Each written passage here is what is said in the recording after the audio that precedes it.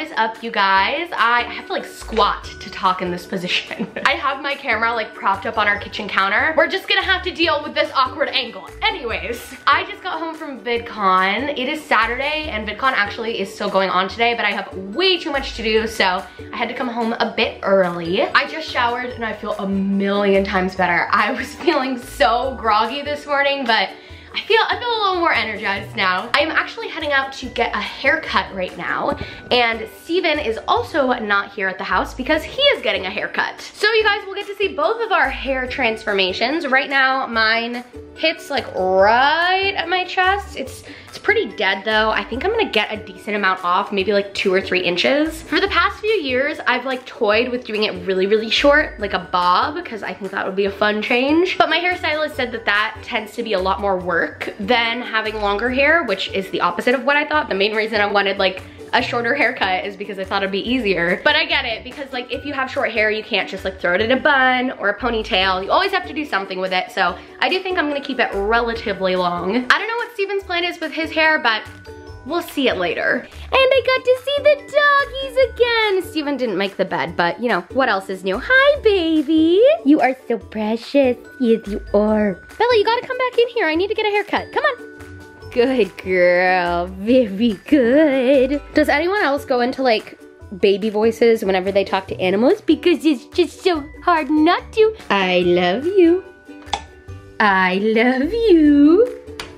Skylar just texted me a link to True Friend by Hannah Montana. I'm about to jam out. You're a true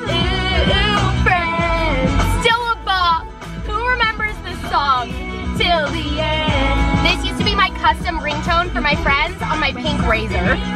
All right, it is time to get this monstrosity addressed. I got my haircut last cut. It was for Kyle's wedding. I was supposed to like flip backwards and like put gel in and make it look cool and make me look marginally cooler. Since it was a weird cut, if you remember that, I was weirded out by it and I actually never really learned how to style it.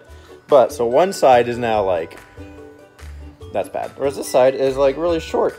I want neither. I want them all short. I've been playing rec basketball lately, and yeah, you can't you can't do that. I have to wear a hairband. So I always wait till it's way too late to get a haircut, and this is this is this is way too late. And then yeah, regarding the house, things are looking better. Uh, all the issues we had have been resolved, so there's really nothing that is making us say no anymore.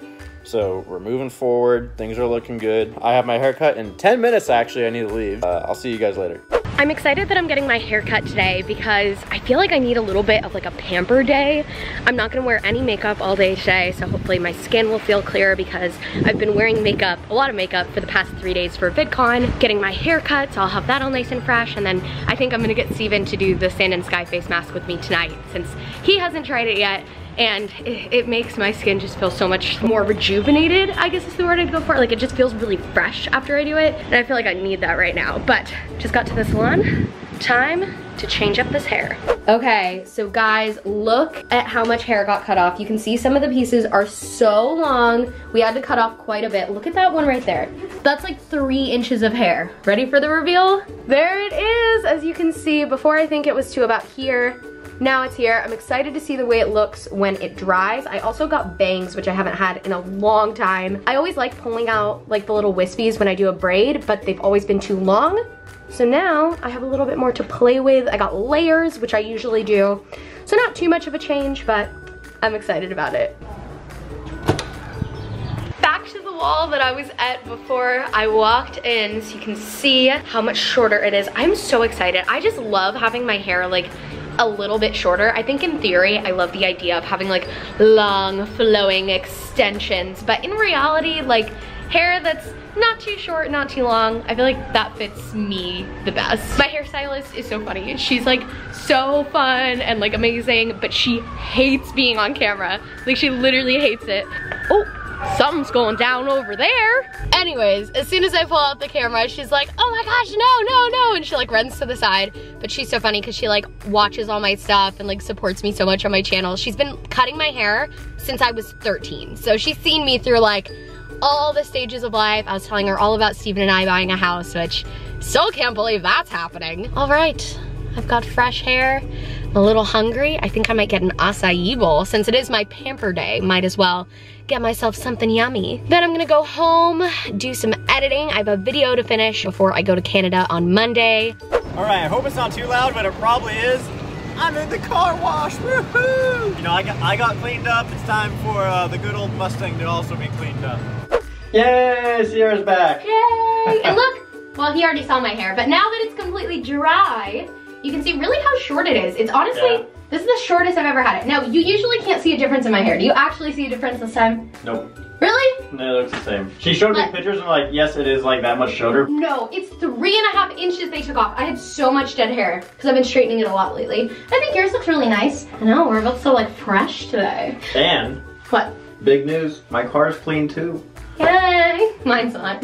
Anyways, uh, next part of our relaxing day together, we are going to do the Sand and Sky Australian Pink Clay Mask. I made Stephen shave his beard because I think this might get a little caught in your beard. You know, you want the fresh clean canvas. And Sand and Sky is sponsoring this video, so a big thank you to Sand and Sky. I've been using them for about the past month and I've noticed a huge difference in my skin. I'll insert my before picture after my first use and then now after about four weeks of use, you can see a pretty big difference. It helps skin rejuvenation, it removes toxins, and the big thing I think you're gonna be excited about with the Australian Pink Clay Mask is it actually helps clear and shrink your pores, and I know you always hate that you have big pores, this will help you. It's made with 100% natural Australian ingredients and pink clay, so it's gonna be real good. It's like a little 10 minute holiday for your skin.